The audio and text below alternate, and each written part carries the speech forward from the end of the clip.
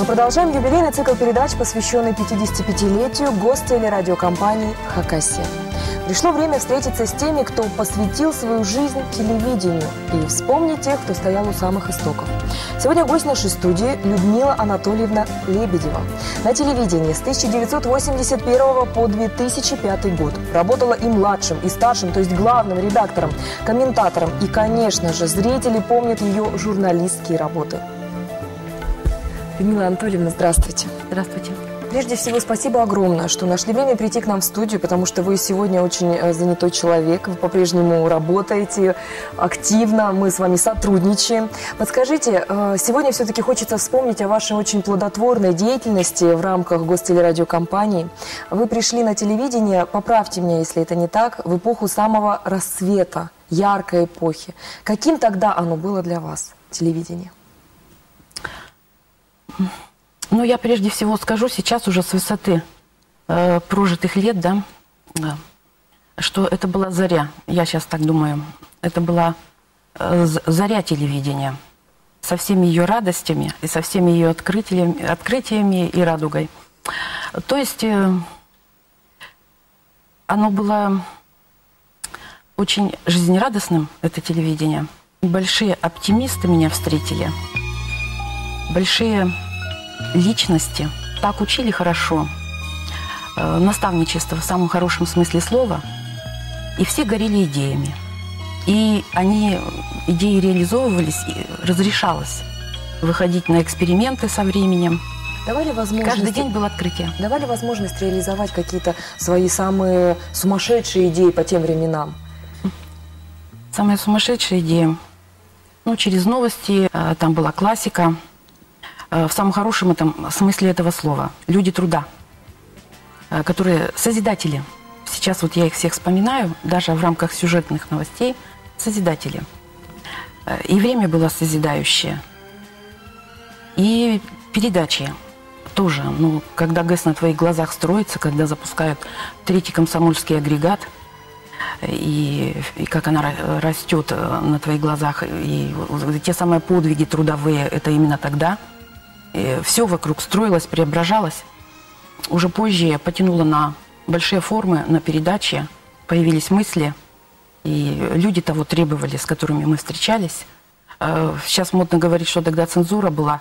Э, однажды меня об этом спрашивали. И я отвечу на этот вопрос, чтобы развеять все сомнения, что мы в жестких каких-то там рамках были. Э, попробуйте покритиковать сейчас какую-нибудь финансово-промышленную группу, и вы поймете, что такое цензура. Э, когда правит бал э, по определению одного из моих э, творческих хороших знакомых, правит бал его величество Далари. Вот и все разговоры о цензуре отпадают. Да. А в списке ваших журналистских побед и удач, без сомнения, ваши герои и люди, которые не только сыграли огромную роль в истории республики, но и вообще в целой, целом страны. Ведь это выдающиеся личности. Расскажите, расскажите с кем вам удалось э, взять интервью?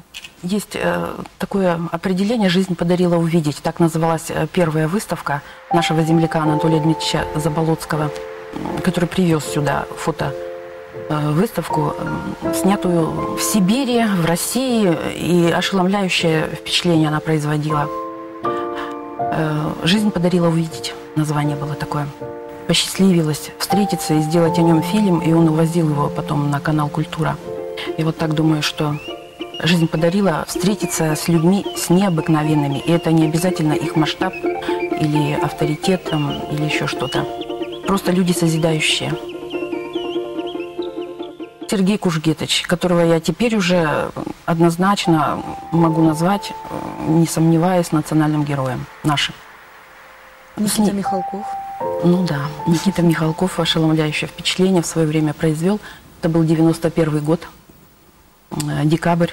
Э, с Фондом культуры Хакасии мы поехали туда. Фонд возглавляла Ирина Кононова Кидиекова, искусствовед. Э, страна на переломе эпох, маячила уже Беловежская пуща, мы об этом не знали. И это был декабрь, конец декабря 91 -го года. Творческая интеллигенция, либеральная она или какая, сейчас я это уже понимаю, э, с трибун поливали Советский Союз как тюрьму народов. что им не давали стихи писать. Это люди, у которых сборники, которых мы изучали в школе по программе. И вот э, с Никитой Михалковым в, в этих обстоятельствах произошла встреча. Мне любой ценой надо было брать интервью. Я помню его речь тогда. Такая же, как вот и сейчас он говорит о России с болью и с призывами к стыду человеческому тех, кто Россию эту разрушает. Вот, собственно, он говорил о провинции в интервью потом. Это было для меня открытием на фоне того всего происходящего в стране, что только провинцией будет сохранена, сохранена Россия. Виктор Астафьев, э, которого мы навещали в Академгородке с моими приятелями э, в больнице, э, лежал с воспалением легкого, потому что второе было прострелено на фронте. Я принесла ему в подарок книгу 53 -го года издания, называется «Тают снега». И когда он увидел, он смутился очень сильно, спросил, откуда и зачем. Я, я говорит, как Гоголь хотел эту книгу в свое время сжечь. Это было невероятно такое слышать от него. Эм, и объяснил, почему. Потому что первая фраза там написана ужасно. И, и мне тогда как бы секрет мастерства своего э, сообщил, что все зависит от первой фразы, от ней, и она должна быть выстрадана. Это мне помогало потом. И оставил надпись э, э, в подаренной книге «Люда и в Хакасии можно жить и дышать, если есть хлеб в душе, э, хлеб на столе и Бог в душе. Чего и желаю тебе навечно». Да, замечательные Помню, слова. Следую. Вот помимо людей такого масштаба, э, в вашей работе вы сталкивались с многими рядовыми да, жителями mm-hmm. Хакасии, но тем не менее, которые обладали какой-то такой действительно искоркой, которую вы сумели в них разглядеть. Ваши герои оставляли след в вашей жизни. Священник Александр Рыков. Это тоже первая передача «Провинция» была в предрождественские дни. Настоятель э, храма в Ширинском районе, кандидат исторических наук, преподаватель Хакасского госуниверситета со всей семьей. Там с замечательным приходом мы вот делали свою первую передачу там. Вы много... уже упомянули легендарную, без привлечения цикл «Провинция». Его помнят до сих пор. Расскажите, как вообще появилась идея, насколько она тяжело рождалась, и почему именно «Провинция»? Идея родилась, ну вот она, она возникала просто подспудно Э, после того, как вот э, Михалков, так определяющий, харизматичный, сказал, как бы обозначил веху.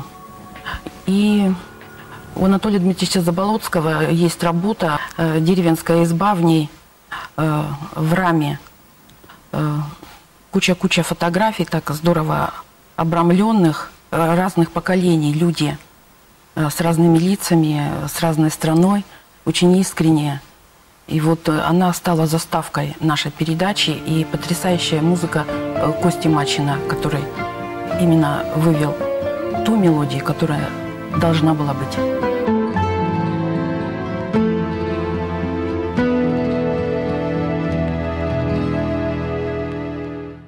Режиссером э, была Людмила Швецова, как вы сказали. Да, потрясающий режиссер, потрясающей красоты человек, потому что она и сейчас такая же в спорах, в спорах, и не только э, между нами, так сказать, творцами, как мы в кавычках о себе говорим, а в спорах с руководством провинцию вообще категорически запрещали, вплоть до там крайних мер, допустим, да. А в связи с чем? В связи с тем, что нужно было делать Его Величество новости, не отвлекаясь вообще ни на что. И, и снимать их клипово, никаких панорам, никаких больших портретов. По три секунды тогда в моде были клипы, э, в клиповое сознание внедрялось. И поэтому вот долбить и монтировать э, по три секунды каждый кадр. А душа требовала другого. Ну вот э, что-то удалось сделать, да. Вот так провинция была.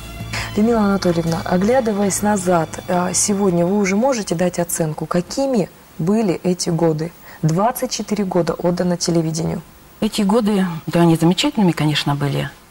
Э, замечательными, потому что э, с замечательными людьми работали.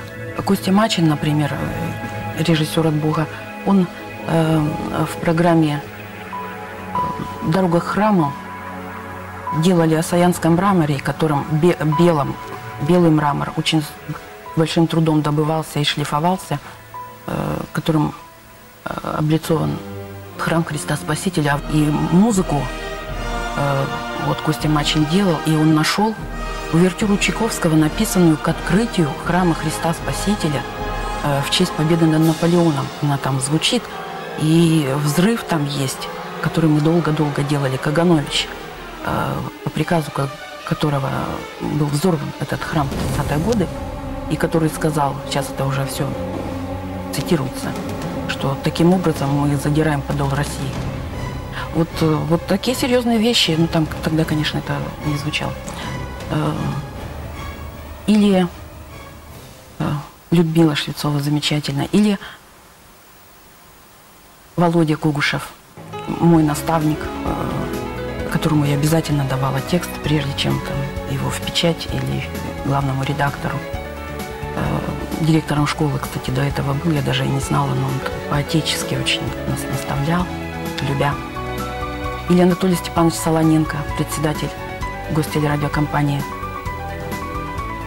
который на эксперименты невероятные шел и разрешал нам в годы перестройки э, ну, 45 минут прямого эфира, э, программа «Добрый вечер» с двумя ведущими, и мы обобщаем картину дня, тут же в кадре комментируя, и кому нужно помочь, называем адреса и говорим, э, нам называются адреса, и что мы выезжаем завтра со съемочной группой. Все, все очень динамично происходило. Солоненко разрешал. Марк Нестерович Маслов, легендарная личность, э, Катюшами командовал. Э, Дневники потрясающие писал, э, литературным слогом владел. Э, Журналист это тоже, ну, легенда. Николай Гаврилович Мизяев, который потом признался уже, когда я так постарше стала, что когда ходил в обком партии, то у него обязательно были документы в пиджаке на очередника э, на получение квартиры. То есть, чтобы в хороший момент подсунуть эти документы и кому-то из наших дать квартиру. Вот такие вот люди. Пустовой ты династия. Александр и Юрий Мефодьевичи. Да, То есть замечательно. замечательное время, замечательное. Да. Людмила Анатольевна, спасибо огромное, что пришли к нам, поделились своими воспоминаниями. Сегодня они особенно ценны, когда, к сожалению, многих из тех, о ком вы сказали, уже нет на этом свете. Нет, они с нами. Они с нами. Мы, их, мы же встречаемся, постоянно их вспоминаем. Они с нами. Вам желаю, и, может быть, и телезрителям, вот я сказала, что заря человечества, да, заря телевидения. Вот сейчас, я думаю, чистилище, а, но мы выйдем из него другими. Вот это нужно пройти, вот это испытание, в котором мы сейчас находимся все, э, в том числе телевидение, чтобы побольше было созидания. Созидания. И тогда будет нам счастье. Спасибо еще раз. Сегодня с Людмилой Анатольевной Лебедевой мы вспомнили удивительные годы творческого роста и общения, становления телевидения Хакасии. Вспомнили и тех, кто стоял у самых истоков. Все они уникальные личности, легенды республиканского телевидения. И таких людей еще немало. Обещаем, о них мы будем говорить еще не раз. Смотрите нас на канале «Россия-1». Увидимся. Thank